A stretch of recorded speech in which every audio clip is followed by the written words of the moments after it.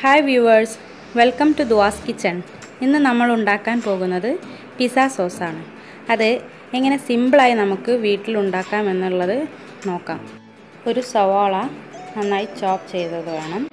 പിന്നെ മൂന്ന് ടൊമാറ്റോ പകുതിയായി കട്ട് ചെയ്തത് വേണം. പിന്നെ നമുക്ക് കുറച്ച് വെളുത്തുള്ളി നന്നായി ചോപ്പ് ചെയ്തത് വേണം.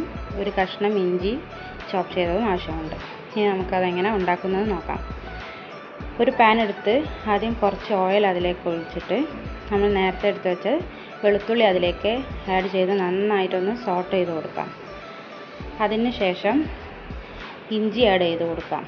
അതും നന്നായി ഒന്ന് സോട്ട് ചെയ്തതിന് ശേഷം നമുക്ക് അരിഞ്ഞു വെച്ച സവോള അതിലേക്ക് ആഡ് ചെയ്ത് അത് നന്നായി ഒന്ന് ഇളക്കി യോജിപ്പിച്ച് കൊടുക്കാം.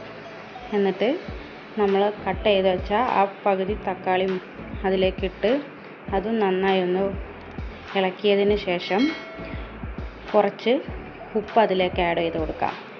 എന്നിട്ട് അത് നന്നായി ഒന്ന് മിക്സ് ചെയ്തതിന് ശേഷം നമുക്ക് മൂടി വെച്ച് നന്നായിട്ടൊന്ന് വേവിച്ചെടുക്കാം. ലോ ഫ്ലെയിമിൽ വെച്ചാൽ മതി. കണ്ടോ? ഇത് വെന്ത് വന്നതിന് ശേഷം ഇതിന്റെ തക്കാളിയുടെ മുകളിലുള്ള ഈ സ്കിന്ന് നമുക്ക് മെല്ലെ കൈകൊണ്ടൊന്ന് എടുത്തു മാറ്റാം.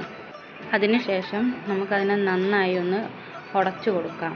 എന്നിട്ട് നന്നായി ഒന്ന് വഴറ്റിയതിന് ശേഷം നമുക്ക് അതിലേക്ക് ഒരു സ്പൂൺ ഗരം മസാല രണ്ട് സ്പൂൺ ടൊമാറ്റോ കച്ചപ്പ് ഒരു സ്പൂൺ മുളക് പൊടി കുറച്ച് കസൂരി മേത്തി പിന്നെ കുറച്ച് ഓർഗാനോ ഉണ്ടെങ്കിൽ അതും ആഡ് ചെയ്ത് കൊടുക്കാം. എന്നിട്ട് നന്നായി ഒന്ന് മിക്സ് ചെയ്തതിന് ശേഷം നമുക്ക് ഫ്ലെയിം ഓഫ് ചെയ്ത് ഒന്ന് ആറിയതിന് ശേഷം മിക്സിയുടെ ഒരു ജാറിലേക്ക് അതിനെടുത്ത് ഇട്ടിട്ട് നന്നായിട്ടൊന്ന് പേസ്റ്റ് രൂപത്തിൽ അടിച്ചെടുക്കാം. കണ്ടോ? ഇതുപോലെ നമുക്ക് പേസ്റ്റായിട്ട് അതിനെ കിട്ടും. അത് നമുക്കൊരു ബൗളിലേക്ക് മാറ്റാം. ഇതാ നമ്മുടെ പിസ്സ സോസ് റെഡി ആയിരിക്കുന്നു. എല്ലാവരും ഇത് ട്രൈ ചെയ്ത് നോക്കണം. താങ്ക്സ് ഫോർ വാച്ചിങ് ആ വീഡിയോ